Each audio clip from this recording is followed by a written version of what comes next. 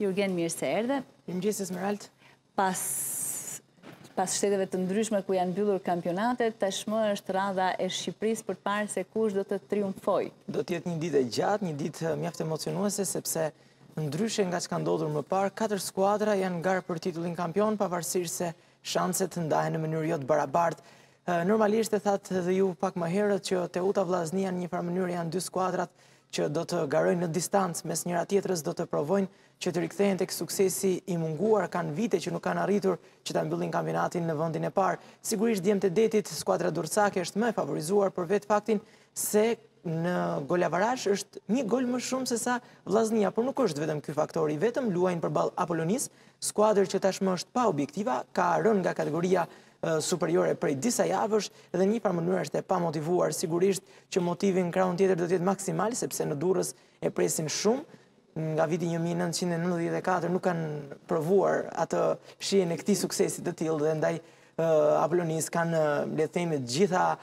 motivet e mundshme për të marrë maksimumin në krahun tjetër nuk do të dorëzohet as Vllaznia ka bërë një edicion të shkëlqyer ka prodhuar lojë mjaft të bukur në këtë edicion dhe me të drejtë pretendon që të marrë maksimumin dhe pse jo të shpresojë të fitojë me një gol më shumë se sa Teuta është pikërisht ky skenari që do ta nxirrte skuadrën shkodrane kampione. Pra thënë më thjesht, nëse Teuta fiton 2 me 0, Vllaznia duhet të fitojë 3 me 0. Por diferenca bëhet, Vllaznia ka Laçin përballë, një skuadër që është po ashtu matematikisht në garë për titull dhe nuk do të jetë aspak e lehtë përballë skuadrës kurbinase që të marrë një maksimum, një një rezultat të thellë, le të themi, sepse skuadra e Laçit është një skuadër shumë kompakte në qoftë se e krahasojmë me Apoloninë. Mirë, po siç e pamë në Itali me Juventusin, gjithçka mund të ndodhë në futboll. Në futboll asgjë nuk është matematikë, në qoftë se ne flasim për Teutën dhe Vllazninë që kanë pjesën më të madhe të shanseve, në anën tjetër kemi dhe Partizanin së bashku me Laçin që do të luajnë shanset e tyre sepse matematikisht janë në garë për titullin kampion.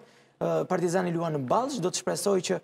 Teuta të ndalet nga Apolonia, në anën tjetër Vllaznia dhe Laçi të ndalen në barazim dhe ky do të ishte skenari që do të shpallte demat kampion. Në anën tjetër Laçi do të provojë që të marrë maksimumin ndaj skuadrës së Vllaznisë dhe Teuta të mos fitojë përballë Apolonisë, do të ishte skenari që do të shpallte skuadrën kurbinase për herë të parë në histori kampion. Këto janë gjithë skenarët e mundshëm për titullin. Për të thënë, Teuta është favoritja kryesore sepse ka gjithçka në këmbët e saj, në rast se nëse arrin që të fitojë në një rezultat të bindshëm, ndoshta do t'i mjaftojë dhe një fitore minimale,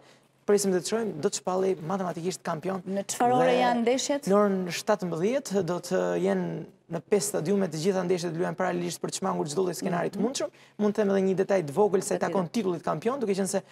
është detyrim që në përfundim të ndeshjes skuadra që merr titullin të marrë trofeun, duke qenë se janë katër skuadra në tre stadiume të ndryshme, federata ka menduar që të çojë tre trofe në tre stadiume dhe në momentin që do të shpallet kampioni, njërën do marrin ndërkohë dy të tjerat do të kthehen sërish në bazë. Do ketë tifozë?